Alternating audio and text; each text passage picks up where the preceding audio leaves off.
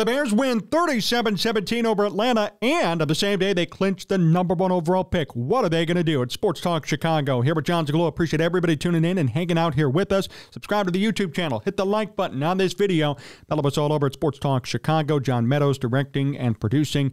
Good to see all of you after a nice Bears victory, a clean Bears victory. Something that we haven't really said nor talked about for the majority of this season. The Bears at one point, made it a close game, but they were always up by two possessions to their credit, even in the third and fourth quarter. They didn't really hit the lull that's been uh, hurting them throughout the season. Justin Fields had a decent game 20 at 32, 268, one touchdown, no picks, and one fumble late, but it was recovered by the Bears. Lil Herbert, 124 yards and a touchdown. DJ Moore with nine catches for 159 yards. The Bears defense forces four interceptions. Four. And that was a huge reason why the Bears won. They scored 10 points off of turnovers, but they got consistent short fields and opportunities to score easily with all of those interceptions. Talk about ineffective quarterback play from the Falcons, and that really hurt them today, too. Taylor Heinicke was atrocious at quarterback. 10 of 29 for 163 yards, one touchdown, three picks. Desmond Ridder, who came in late, even threw a pick, four picks in total. The run game was there for Atlanta, and at times it seemed like they were in it. But the Bears' defense did it all today, forcing turnovers, berating both quarterbacks, Ridder and Heinicke. And then Justin Fields and company on the offensive side did exactly what they needed to do. Fields really had one of the cleanest games that I've seen him play all year, let alone maybe his whole career, really, as far as clean goes. I mean, you could say the Broncos game was huge, but that fourth quarter was horrendous. This was the cleanest, complete game that I think we've ever seen Justin Fields play. It wasn't unbelievably flashy. It was, hey, I'm going to do my job. I'm going to find ways to avoid pressure. I'm going to throw a touchdown pass, run one in as well, and never turn the ball over. To his credit, he played great. I can't say anything wrong about Justin Fields and how good he played today. I think he looked great. And uh, that's a big reason why they won. In addition to their defense forcing four picks, that is a huge reason why they won here today. The Bears are officially still in the hunt at 7 and 9. I really don't care about that. The key is, though, this broke during the game. The Bears now are officially given the number one overall pick. The Panthers lost to Jacksonville and CJ Beathard. So now the Bears have the number one pick. They're officially on the clock, and the question becomes what will they do? Now, they won today. They're seven and nine. People are happy. People are feeling well. The Packers game is going to be huge. I don't think that that should make or break what happens to Eberflus or Fields or Getsy, etc. But those are going to be questions that are going to come up. The number one pick, though, is going to be in the Bears' hands.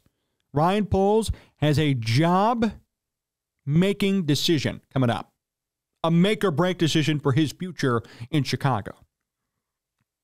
Is he going to draft a quarterback? Is he going to trade out of the spot? Is he going to keep Justin Fields? How will they approach this situation? And that's going to be really difficult, really tough. I don't want to get into it fully now. We will throughout the offseason, even next week. This is more of a recap video, but it's something to keep in mind and start thinking about. This is no longer a well, we'll see. Because there were arguments in the past that, okay, if the Bears don't get the number one pick, you might as well keep Fields. But it is official now. They have the top pick. What will they do, and how will they treat the quarterback position? I want to say one more thing, too.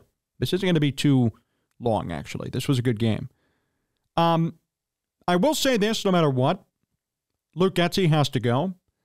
We've seen that all year. We know about his shortcomings, but let me just say this. Just over two minutes to go. Bears are already up by 20. The game's essentially over.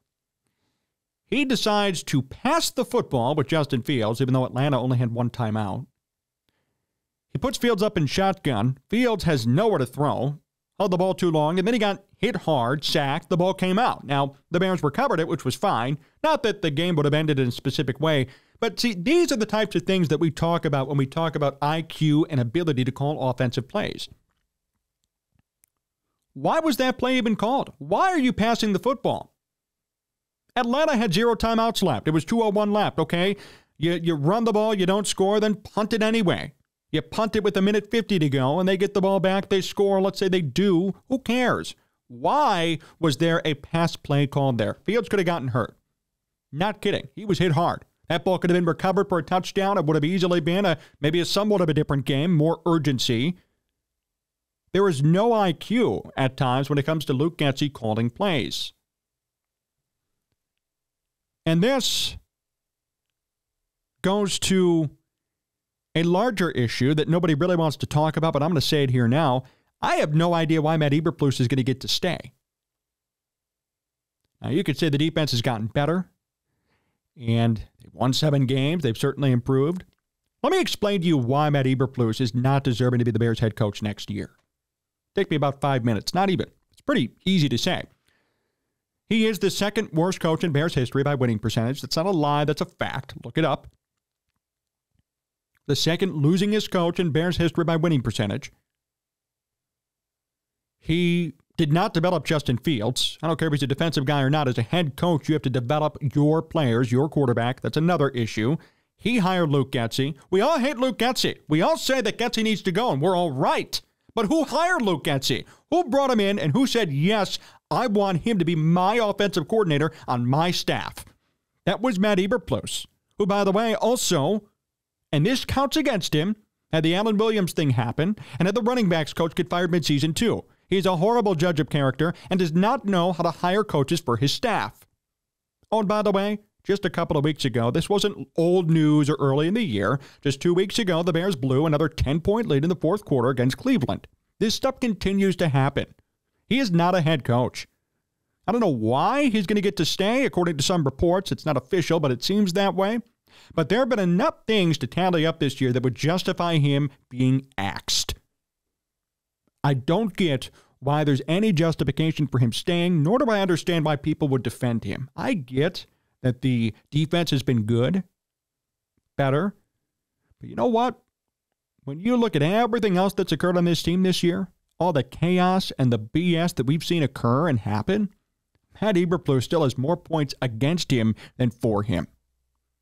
He's going to get to stay. They're going to pin this on Getsy, and Getsy surely needs to go. But remember who hired Luke Getsy. Remember who's going to hire the next offensive coordinator, especially if Eberflus stays, right? So this is not going to be a sure thing, especially if Eberflus is calling the shots and thinking he's going to hire somebody that he wants, because clearly the people that he wants suck. Alan Williams, who was bad regardless of his off the field stuff, and now Luke Getsy too. Those are things that have to be considered and have to be looked into. You know, this team won seven games, and yeah, that is an improvement. I'm honestly surprised. They had an easy schedule here near the end, but they won seven games. Fair enough. And you're going to keep around a guy who had so much controversy and issues infiltrate his team all year. To me, it makes no sense to keep and hold on to Matt Eberflus. He should go. And Getsy's going to go, I would hope, right? Then from there, what are you going to do at quarterback? Well, you guys know how I feel about that, but we could have more conversations on it. I mean, Fields played a great game today. Again, I am not going to take anything away from him. I thought, in my opinion, this was actually probably the cleanest game he's ever played. In general, clean. No fumbles, not three touchdowns, one pick, literally nothing. You know, he had the fumble late, but that was a bad play call. I'll give him that. Still the one touchdown, no picks, rushing touchdown two, 260 plus yards. Great game. Is he going to be the long term answer? Eh, I don't know. I still don't think so.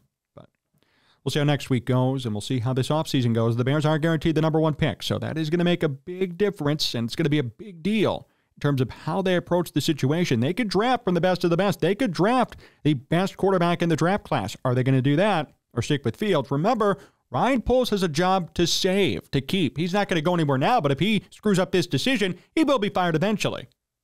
So keep that in mind, too. Ryan Poles is also going to be looking out for himself. Same with Kevin Warren. Same with Eberflus if he somehow stays. It's going to be tough. And we'll see how this all goes and how this all works out. Appreciate everybody hanging out with us here today.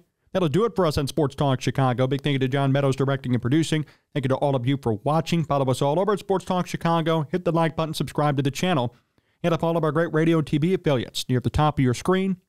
Be a part of the conversation this week and all weeks as well as we provide you the best and the uh, you know the the most uh, effortful Bears news that we can. We work hard here, and we're appreciative of all of you for taking the time to be fans and join us each and every week.